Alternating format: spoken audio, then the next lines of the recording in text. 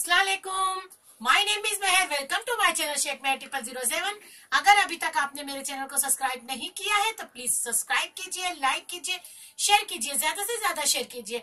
आज हम आपको बनाना बता रहे हैं व्हाइट चिकन व्यूवर्स की फरमाइश थी और बहुत ही जल्दी बनने वाली रेसिपी है। चलिए इसके लिए क्या क्या इंग्रेडिएंट्स लगेंगे, वो देखिए। देखिए, ढाई सौ ग्राम मैंने चिकन ली हूँ। बोन या बोनलेस चॉइस आपकी है, आप कुछ भी ले सकते हैं।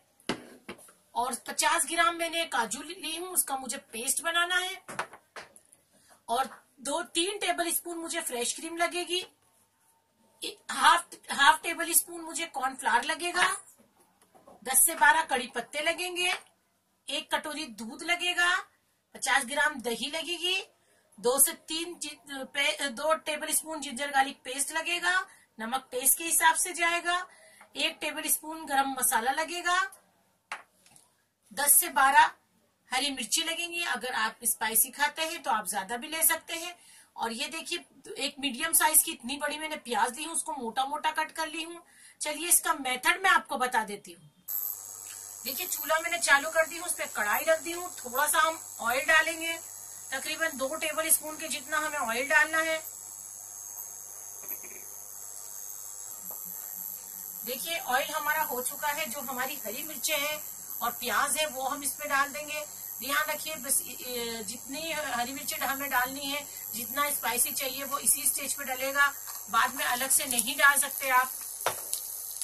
और ये जो काजू है, इसको भी डाल देंगे। और हल्का सा इसे हम सोटे कर लेंगे। हमें एकदम ब्राउन नहीं करना है। ये देखिए, प्याज और हरी मिर्च और काजू कनी या टुकड़ा जो चाहे आप, वो ले सकते हैं। ये हमारा सोते हो चुका है, इसे हम चूल्हे को स्लो कर देंगे और इसे एक प्लेट में निकाल लेंगे।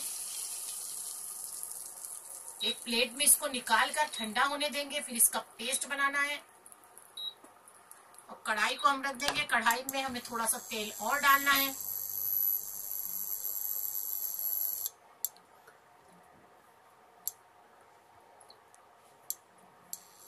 ये देखिए, कढ़ाई में थोड़ा सा तेल हमने डाल दिया, तेल को हम गर्म होने देंगे।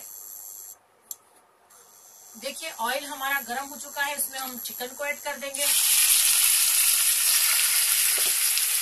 और चिकन ऐड करने के बाद में तो थोड़ा सा अच्छे से हम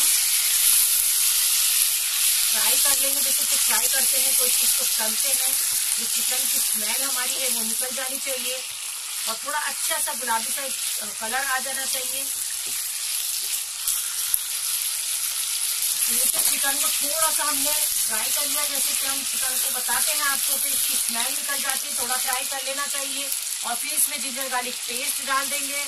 इसे डाल के इसे भी थोड़ा सा अच्छे सा मिक्स करना है। और मिक्स करने के बाद में हमें इसमें नमक डालना है।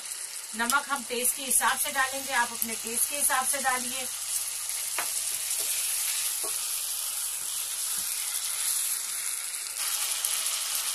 ये देखिए, अच्छे से भून चुका है, फिर गरम मसाला डाल देंगे हम। और जो हमारा प्याज, हरी मिर्चे और हमने काजू कदी जो सोटे करी थी, उसको मैंने पीस के पेस्ट बना लिया है, वो भी डाल देंगे। वो डालने के बाद में अच्छे से हमें मिक्स करना है और एक से दो मिनट तक ऐसे ही भूनना है इसे। ज़्यादा काला या गुलाबी नहीं करना, क्योंकि व्हाइट चिकन है। व्हाइट कलर आना चाहिए। ये देखिए, अब इसमें हम दही ऐड कर देंगे।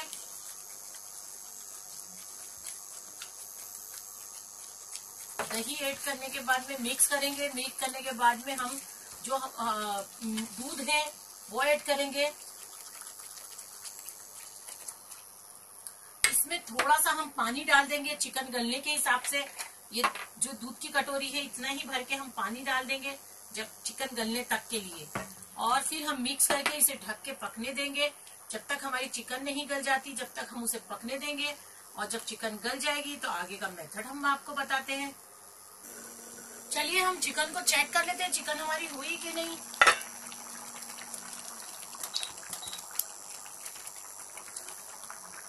चिकन हमारी हो चुकी है। अब हम ये जो कॉर्नफ्लावर लिया था हमने, उस कॉर्नफ्लावर में थोड़ा सा हमने पानी डाला, पौना कटोरी के जितना। और वो हम इसमें ऐड कर देंगे। ये ऐड कर देंगे बाद में। एक से दो मिनट इसको और पकने देंगे। और फिर हम आप, आगे का मेथड आपको बताते हैं। चलिए, ये देखिए, एक से दो उबाल उसमें आ चुके हैं। इसको हम फ्रेश क्रीम डालेंगे। हमें दो टेबल स्पून के जितनी फ्रेश क्रीम इसके अंदर डालनी है और एक टेबल स्पून हमें गार्निशिंग के लिए रखनी है, जब हम प्लेटिंग करेंगे, जब हम डालेंगे। ये देखिए, इससे व्हाइटनिंग आ गई थोड़ी क्रीम से और क्रीमी टेक्सचर आ जाएगा इसके अंदर। बहुत अच्छा टेस्टी लगेगा। और इसको हम साइड में रख देंगे और एक फ्राई पैन लेंगे। फ्राई पैन में हमें थोड़ा सा ऑयल डालना है। थोड़ा सा हम ऑयल डालेंगे फ्राई पैन में। यानी कि जितना हमें तीरा चाहिए, वो हिसाब से भी डाल सकते हैं, क्योंकि उसमें तीरा नहीं छूटा। है ये देखिए, तकरीबन मैंने तीन से चार टेबल स्पून ऑयल ली हूँ। और ऑयल को मैं होने दूँगी, उसके बाद में कड़ी पत्ता ऐड करना है हमें। देखिए ऑयल हमारा हो चुका है, हम कड़ी पत्ता इसमें ऐड कर देंगे। और थोड़ा कड़ी पत्ते को हम हल्का सा ही कड़क होने देंगे, ज़्यादा एकदम काला नहीं करना है। ग्रीन ग्रीन दिखना चाहिए, वैसा ही रखना है। ये देखिए, चूल्हे को हम बंद कर देंगे। और ये जो कड़ी पत्ता है का जो हम तड़का लगाएँगे, वो हम इसके ऊपर डाल के फ़ौरन हमें बंद करना है, ताकि कड़ी पत्ते का फ्लेवर चिकन के अंदर आ जाए। और एक से दो मिनट इसको ऐसे ही रखे रहने देना, फिर उसके बाद में आपको प्लेटिंग करनी है। चलिए हम आपको प्लेटिंग करके बताते हैं। देखिए व्हाइट चिकन हमारा तैयार है विवर्स की फरमाइश थी। बहुत ही अच्छा लग रहा है, दिखने में जितना अच्छा है, खाने में उतना ही टेस्टी है और जल्दी बनने वाली रेसिपी है।